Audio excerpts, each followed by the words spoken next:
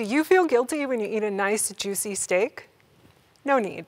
I will tell you how you can make sustainable choices and still eat meat and dairy as part of your regular diet. Why you don't need to be vegan to save the planet.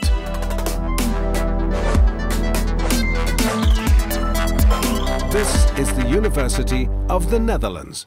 There is so much information and misinformation out there on how to eat sustainably. It can be overwhelming. Most of us are doing our best to make the right choices, but it's so confusing we're all coming up with different answers. Food choices are deeply personal and more diverse than ever. My family is no exception. I eat mostly plant-based, but I really love dairy and I eat meat occasionally, maybe once or twice a year. My older brother, on the other hand, is strictly vegetarian. My parents tell us that they're eating more plant-based, but we all know they're still having bacon in secret. My partner and my son are flexitarian, but three days vegetarian meals is the absolute limit. And my younger brother is a real dedicated meat lover. So our holiday dinners are complicated, fun, but complicated. We're all trying to make the right choices. It's just not that easy to know what the right choices are. I've been busy with this for a long time. I've been working as a protein scientist for the last 16 years, and for the last two years as a program manager in Wageningen. In Wageningen, my job is to work together with our amazing scientists to create a shared vision about how we can feed the world population with the least possible damage to our planet. What I know now is the solution does not require going to extremes. The most sustainable future does not require a planet full of vegans. The science tells us that you can eat a diet that looks a lot like what you're eating now if you're willing to shift in proportions. In this lecture, I'll explain why, and I'll translate that to recommendations for how you can be part of positive food systems into the future. When we talk about sustainability, we need to be talking about proteins. Of all our nutrients, proteins have the heaviest environmental footprint. And when I talk about environmental footprint, I mean land use, water use, and greenhouse gas emissions. Proteins are, on the other hand, an essential nutrient for our bodies. They're made up of amino acids, and we break down the proteins into those amino acids and use them to build tissue like muscle. Children, for example, who don't get the nine essential amino acids they need from their diets can't grow properly and suffer from what we call stunting. Older adults who don't get sufficient protein lose muscle and become frail as they age. The good news is proteins are present in almost every food, but of course at different levels. So lean meats like chicken breasts uh, are basically only protein in water and have about 20 to 30% protein. You probably also think about milk, eggs, dairy products like cheese as typical protein sources, and they are, but the world's biggest single protein source is actually wheat. And brown bread is typically 7 to 8% protein, and we compare that to milk. Milk is only actually about 3% protein. Other good sources of protein, uh, beans, nuts, and seeds, really great. Chickpeas have about 19% protein, and even regular green peas have about 8% protein.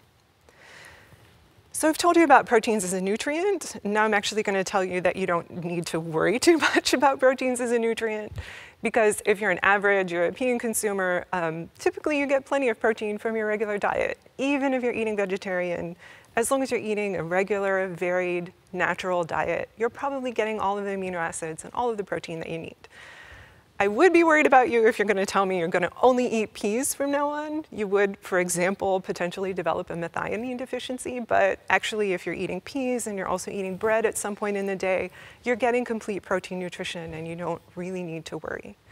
Um, typically in Europe, we actually get on average more protein than we need. Up to one quarter or a third of our protein is just extra above the sort of minimum required amount that we need. It's not a problem for our health to eat extra protein. Actually, especially if you're elderly or if you're an athlete, it can be a good thing. But it is a problem if you're trying to follow a sustainable diet.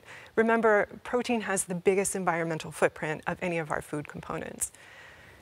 There's another problem that's making our protein system inefficient right now, and that is that in almost every rich country, we're eating more animal proteins than ever. So on average, we're getting about two thirds of our protein from animal sources like meat, eggs, and dairy. Um, and that's inefficient, inherently inefficient. Why? Because animals don't actually make protein, they convert protein. Plants make protein. They grow, they pick up nitrogen from the soil, and they grow and they convert that into proteins that we can eat. Microorganisms also make protein. You can grow bacteria with sort of any carbohydrate and a little bit of nitrogen hanging around, and they'll create protein for us. Animals, on the other hand, are like us. They actually get in protein from their diets, and they use that to make body tissue, muscle mass. Some animals are better converters than others. So cows, for example, require up to 20 kilograms of, of protein from grass or grains that they eat to create one kilogram of beef. Chickens, on the other hand, are a lot more efficient. We can give them uh, up to two kilograms of feed proteins to get out uh, a kilogram of eggs or chicken meat. Insects, which you've probably heard about as a potential future protein source, are the most efficient animals, but they're still animals. They're converting protein. And I don't know about you, but I'm not really excited about eating insects. A more efficient solution is to eat those plant proteins ourselves. So we'd like to move a little bit away from the animals, less animal proteins and more sustainable alternatives, for example, from plants. The question is, how do we get there? And today we're going to talk about three directions of change that we think can help us get there. So one, we're going to look into this category that is called meat alternatives, things that look like meat but are actually coming from plants. Uh, and we're going to dive into the example of making a burger from pea protein. Number two, we're going to look into some sustainable alternative protein sources like duckweed and quinoa and how they can become a part of our regular diet. And number three, we're going to circle back and we're going to talk about why you don't need to be vegan, but what are the things you should be conscious of if you want to contribute to sustainable food systems.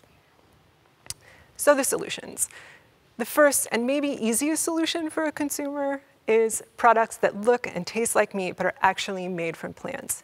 This meat alternatives section of the grocery store exploded in the last five years, and Wageningen has been a part of making that happen. We, for example, made a kind of chicken-like texture from soy using a process called extrusion. Uh, and in the meantime, we're also working on developing a plant-based steak, a real sort of chunk of something that looks very meat-like. The plus side of these products is that they make change easy. You can basically keep on eating the same meal, you can keep on cooking pretty much the same way you always did. We know there's room for improvement in the taste, but actually I think we've made good progress and these products keep getting better. Uh, and we think they will keep getting better in the coming years. On the other hand, these meat alternatives or meat analogs are not a perfect solution either. They're not very easy. It's not easy to convert a plant into something that looks and tastes and cooks like meat.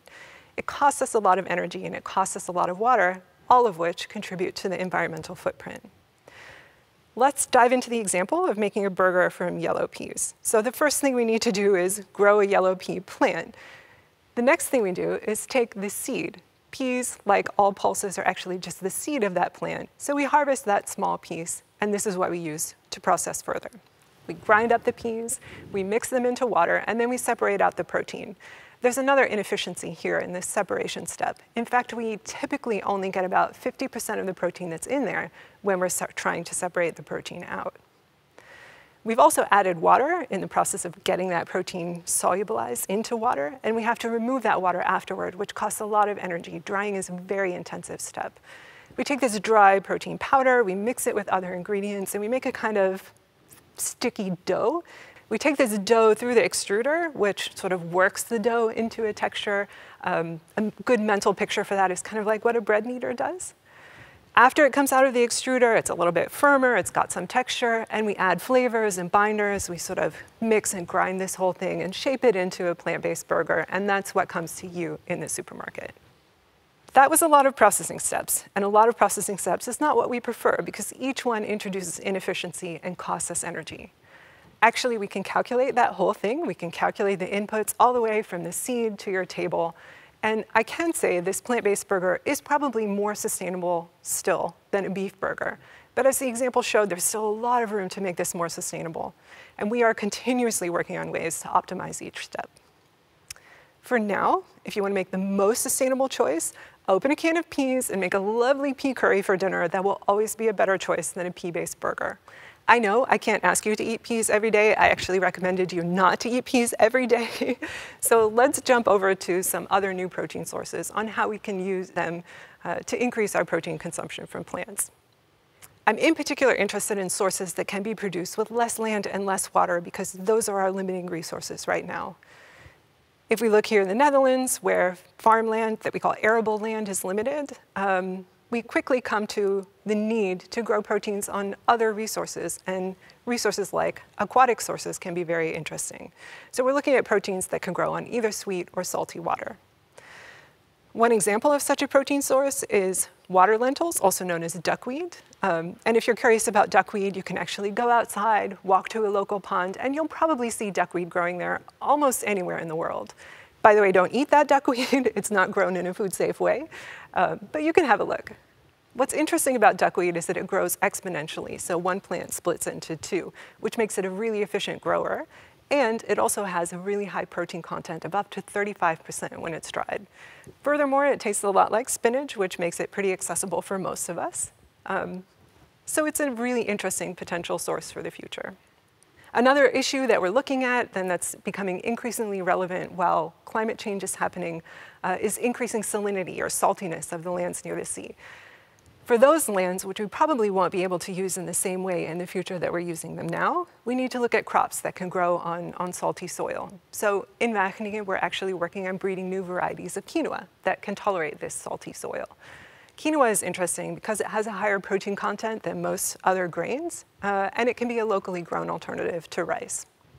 Longer term, we're actually looking at a, an even more efficient option of growing protein from bacteria, which require almost no land or water to grow. Um, and actually, I think protein bacteria can be delicious. You might say no uh, if you're listening to this, but actually, if you like cheese and yogurt, I think you should be saying yes. Basically, yogurt and cheese are made from milk and bacteria. The bacteria that are in there eat the sugars that are naturally present in milk, and they make these into flavors that we perceive when we eat those products. The bacteria themselves are essentially pure protein, and they grow incredibly efficiently. The limiting factor for bacteria is that we haven't really worked on using them directly for food, so there's still a lot we don't know. And any change we make in our food system, in our diets, has to be done really carefully to make sure it is safe and healthy. So we're looking at this as a long-term option. Okay, so far I have you eating chickpeas, duckweed, quinoa, and bacteria uh, and we haven't really touched on the main question of why you don't need to be vegan. So let's circle back and put that into perspective. I know you don't only want to eat chickpeas, duckweed, quinoa, and bacteria. So the good news is you can eat sustainably without drastic changes. And yes, you can still eat meat and dairy. Why? Well, animals play an important role in our food system because they can eat things that we can't. So essentially, they can convert waste into food. We call this animals as recyclers. So think back to that yellow pea burger. If you remember, we harvested the pea, which is actually the seed of the plant, and we left behind leaves, stems, and roots. Without animals, we would just leave that material on the, on the ground. With animals, we can actually harvest that and feed it. The plant leftovers, for example, can be used as feed for pigs, and the pigs can convert those nutrients into meat, which we can then keep in our food system. It's the same story with grass. Uh, we don't eat grass ourselves. I'm not going out to pasture anytime soon, but cows eat grass and they can convert that into milk and meat that are a part of our food system. So the most efficient, most sustainable system does include animals. It's just not how we're using animals right now. Right now, most of what is fed anim to animals, like soybeans, for example, could also be used for human consumption. And our rule in Wageningen is simple. If it's good for food, we should use it for food animals should eat the things that humans can't eat. We've actually put some numbers behind this and we've calculated what the most sustainable system for Europe would be. And we come to about 28 grams of animal protein per person per day. That's the equivalent of nearly a liter of milk, 329 grams of quark, or a steak of about 112 grams, which is maybe half of a restaurant steak nowadays. On average, here in the Netherlands, we're eating about 75 to 80 grams protein per day. So for us, that means about one third of our protein could come from animal sources. If you're in a place where you're closer to the minimum required amount of protein, which is about 50 grams on average, you could get half of that from animal sources. So what should you be putting on your plate if you want to help save the planet? Well, in fact, you can keep on eating the same foods if you're willing to change the proportions. If you live in a rich country, you're typically getting about two thirds of your protein from animal sources and one third from plants. We'd like to see that change. Cut your steak in half, double up on your vegetables. I'd also like to ask you to become as conscious as possible of how your meat, eggs, and dairy are being produced. choose for animal products produced without imported feed, seek out brands that embrace the role of animals as recyclers, and upcycling our waste. So, in conclusion, no, you don't have to be vegan. There's room for meat and dairy in the diet of the future. We need animals to create the most efficient future food system. The family meat lovers are welcome at the table. There's no need to eat your bacon in secret. Just promise me that you will also give peas a chance. Thank you so much for listening.